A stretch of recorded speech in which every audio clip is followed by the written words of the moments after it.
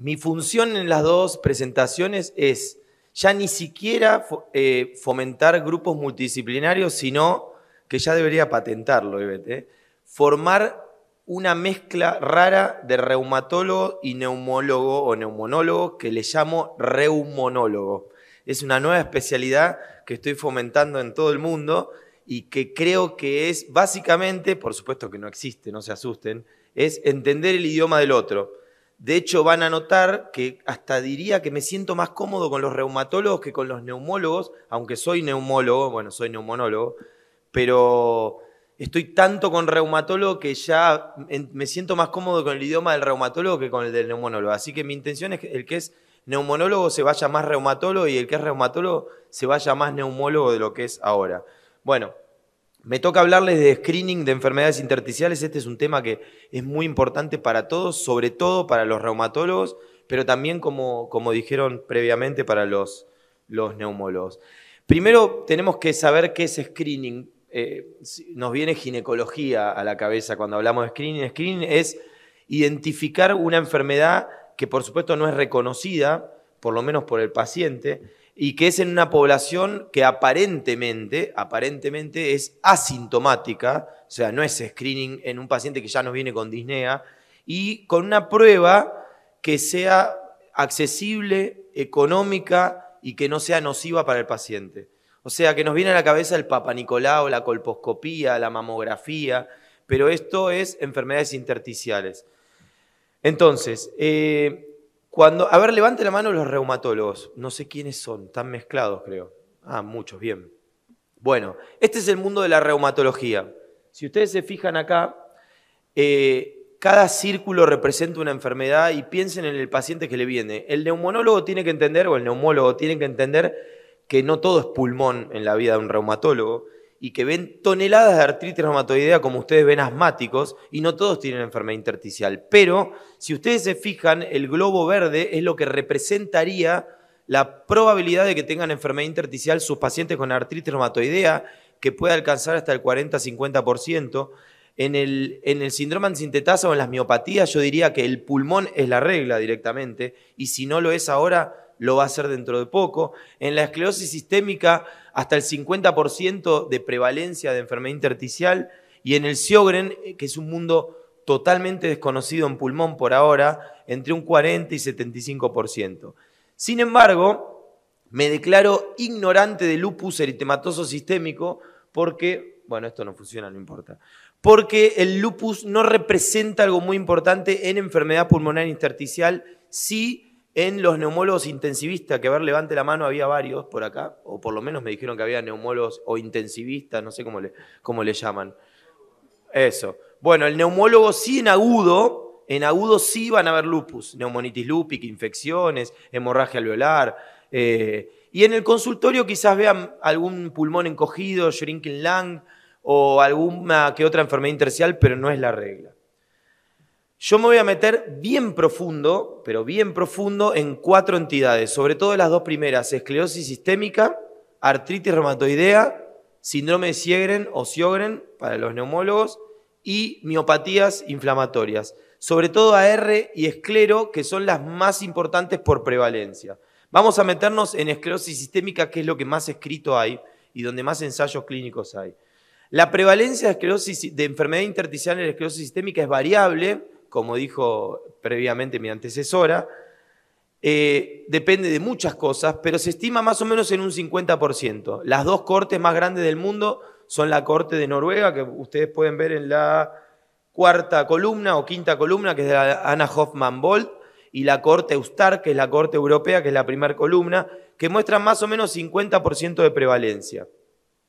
Algo que aprendimos en fibrosis pulmonar idiopática. Cuanto antes diagnosticamos a estos pacientes, mejor, porque después voy a ver por qué voy a impactar eh, tempranamente en el tratamiento. Y el diagnóstico temprano de la esclero es fundamental, pero esto ya lo sabían los reumatólogos de antes, y la ventana de oportunidad la da el fenómeno de Raynaud. Sería como el primer punto de partida de la esclerosis sistémica prácticamente habría que ver aquí con el calor, pero prácticamente que no debería casi existir esclero sin reino.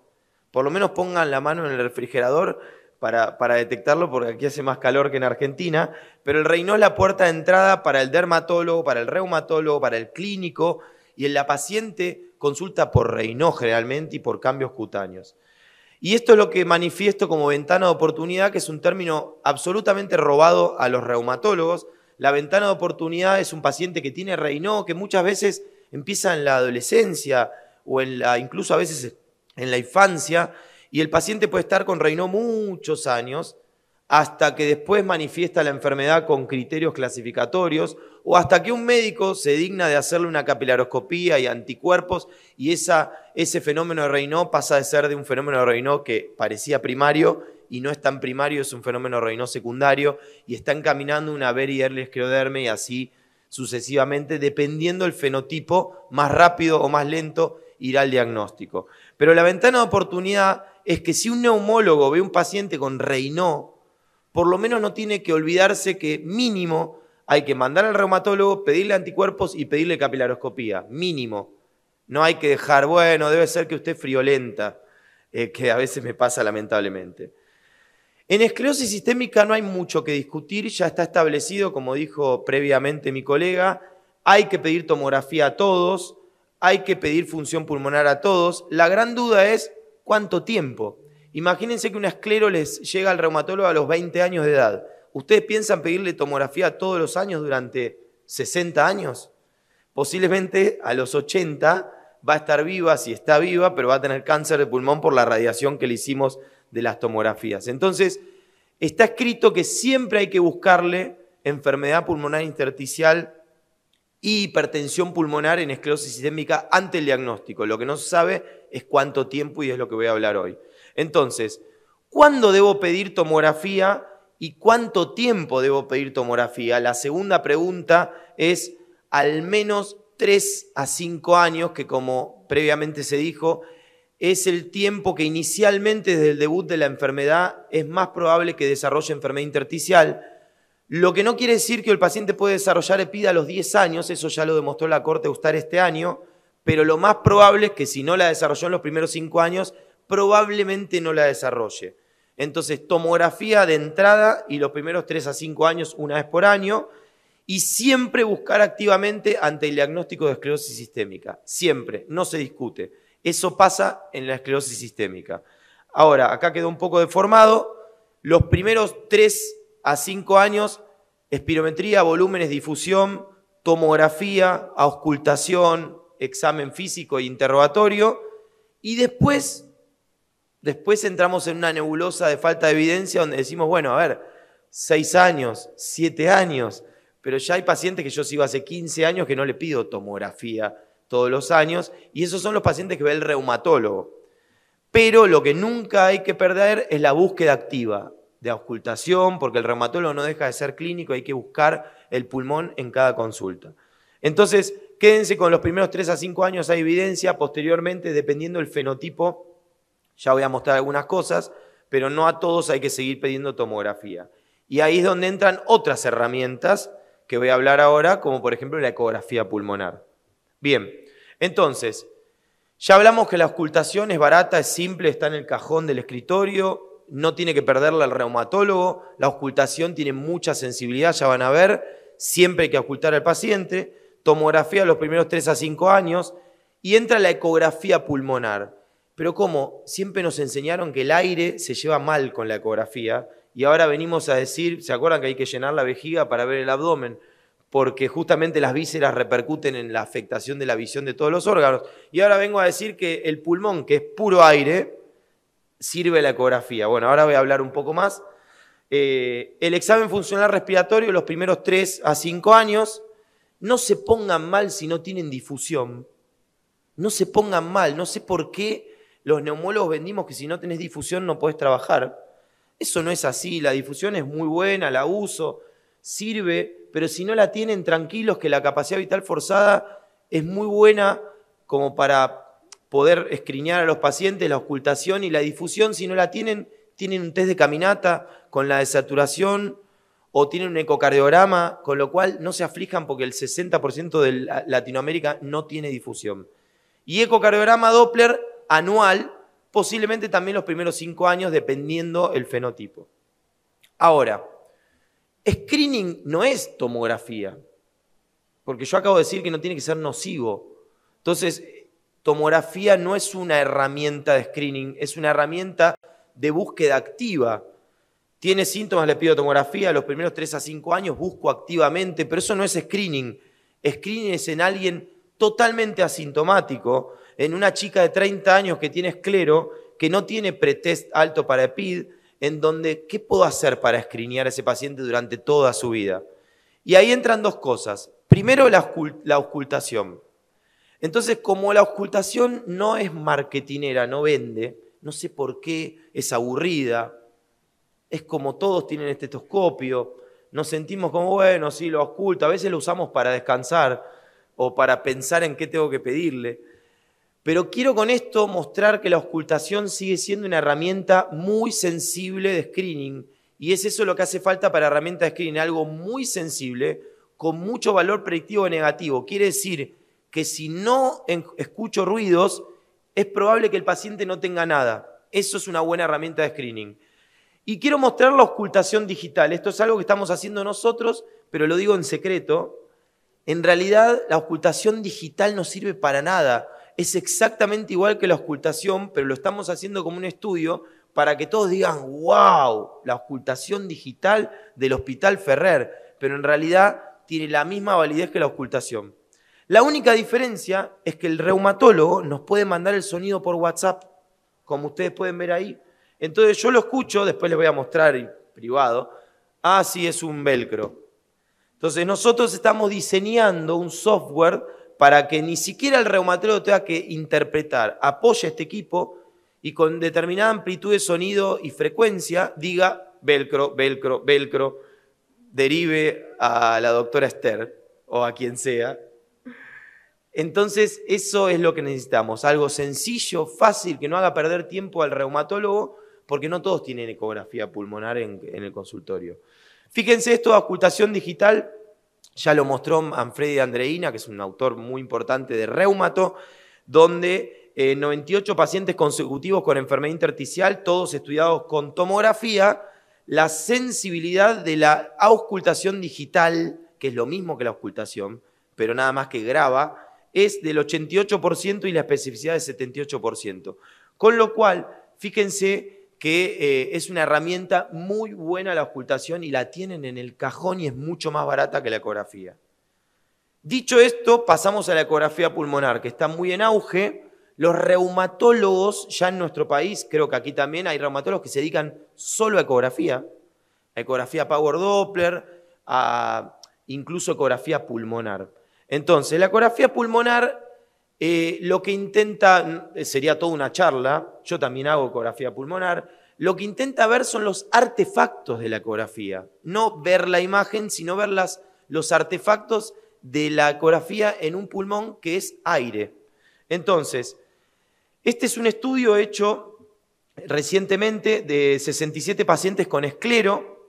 Fíjense que a todos se le hicieron ecografía y a todos le hicieron tomografía para comparar con el gold standard y encontró que la ecografía pulmonar eh, tiene un valor predictivo negativo, como ustedes pueden ver, muy alto, muy alto. Prácticamente tener una ecografía pulmonar normal excluye enfermedad intersticial.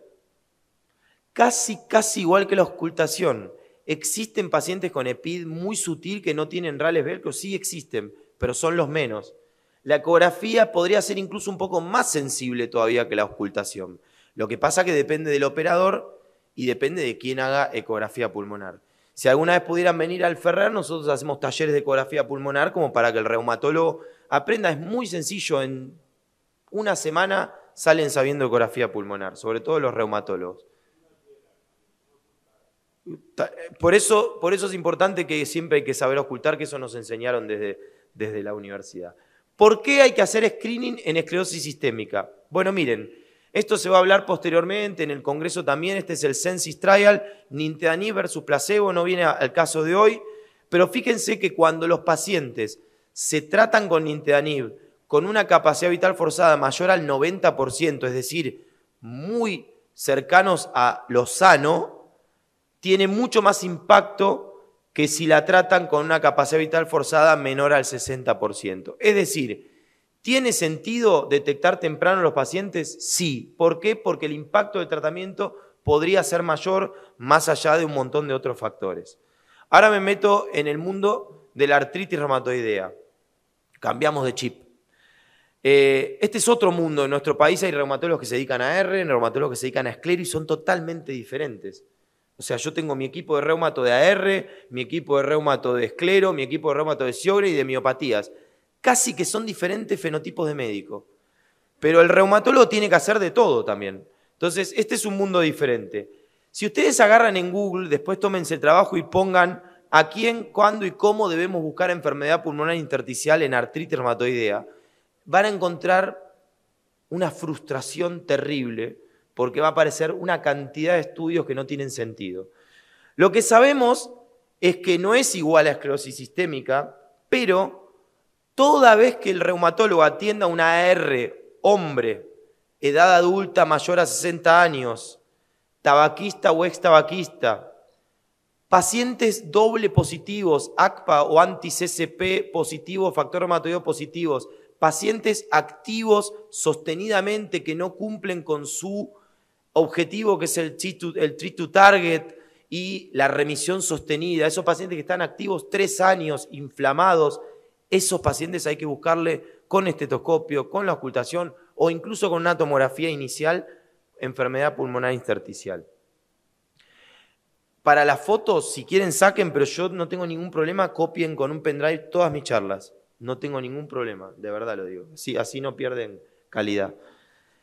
Ahora, el reumatólogo, así como el neumólogo tiene el asma control test, que ya no me lo acuerdo, pero creo que existía, el reumatólogo tiene objetivos que cumplir, que se los tenemos que exigir, que es el T2T. Me encantó el programa de mañana porque todo el tiempo es T2T en espondilitis, eh, Treat to Target en AR, en SCLE. Me encantó porque es el objetivo que tiene que cumplir. ¿Qué significa para el, para el neumonólogo? Que un paciente esté sin articulaciones tumefactas, sin articulaciones dolorosas, sin rigidez matinal, sin parámetros de inflamación y con una buena calidad de vida. Eso es un paciente en remisión sostenida que lo tiene que cumplir el reumatólogo. ¿Qué relación hay con el pulmón de eso? Cuando un paciente está activo, el reumatólogo usa score clinimétricos como el DAS28 por PCR o eritro, el CDAI o el SDAI. Son diferentes scores pero fíjense que con DAS 28 lo que ya se demostró es que por cada punto de DAS 28 que aumenta, aumenta 35% de las probabilidades de que nuestro paciente con AR tenga enfermedad intersticial. Es decir, si el reumatólogo de un paciente que hace un año tiene un DAS 28 de 6.1, es un paciente que tiene que buscar pulmón porque posiblemente tenga enfrente una enfermedad pulmonar intersticial subclínica y no hay que esperar los síntomas. La disnea no sirve para nada, es tardío, es como esperar que un cáncer de mama se detecte con los dedos. Es lo mismo, es decir, vamos a esperar que tenga metástasis su cáncer para detectar el cáncer de pulmón. Es lo mismo, el reumatólogo no tiene que esperar la disnea porque la disnea aparece con una FBC menor al 50%, con lo cual es tardísimo. Entonces, al reumatólogo le encanta lo matemático. De hecho, yo aprendí mucho de la estadística del reumatólogo, que son mucho más estadísticos que nosotros, por lo menos en nuestro país. Entonces nosotros diseñamos un score predictivo, que ya fue publicado en la revista española de, reumatología, que es tratar de darle herramientas al, reumatólogo predictivas de, bueno, ¿a quién le pido tomografía? Entonces hicimos un estudio de casos y controles con curva ROC, para ver con qué puntaje y qué variables se asocian a que a ese paciente que pedirle tomografía. Y fíjense que encontramos que el eritro más de 80, el sexo masculino, el tabaquismo, las manifestaciones extraarticulares o la actividad articular medida por CEDAI, en este caso mayor a 28, son variables independientes con la probabilidad de tener enfermedad intersticial, que eso ya lo mostré. Hicimos una curva ROC y fíjense que con dos puntos, dos puntos es, por ejemplo, haber fumado nada más. Entonces, usted, Jorge, tiene AR. ¿Fumó alguna vez? Sí. Tomografía. No se discute más. Eso ya ni siquiera es screening, ¿eh? es búsqueda activa. De hecho, el neumólogo le tiene que pedir tomografía solo por haber fumado, sin la R, sin la artritis perdón. Entonces, con este score predictivo ustedes tienen herramientas como para decir, bueno, ya está escrito matemáticamente. De hecho, Philippe Dudet, que es un reumatólogo, que ya no es reumatólogo, es reumonólogo, absolutamente reumonólogo francés de París, él dice, ante un paciente con AR o un paciente con AR hay que estratificar el riesgo. Si fumó, si es hombre, si es adulto, etcétera, etcétera. Entonces tengo que hacer screening con tomografía directamente. La duda es cada cuánto. Esa es la gran duda.